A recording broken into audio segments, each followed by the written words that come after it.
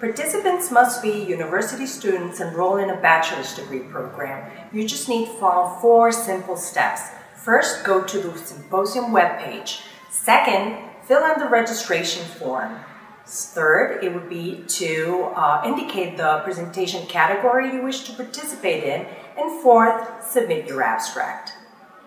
It could be research projects, extension, or voluntary work, or any proposal the student has participated in.